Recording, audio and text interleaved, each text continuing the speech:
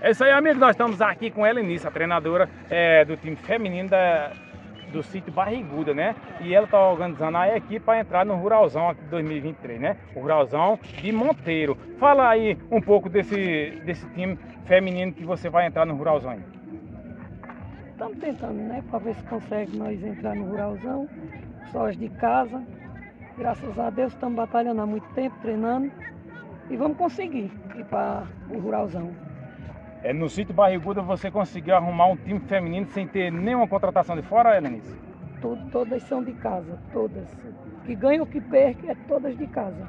É de goleira, zagueira, atacante, é todas de casa.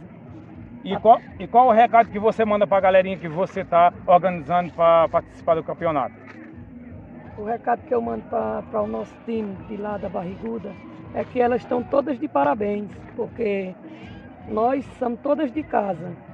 E quem está jogando com a gente não tem nenhum time, é todos pegando de todos os times para colocar para ver se ganha de nós. Coloque todo mundo de casa para enfrentar nós, é isso que eu quero.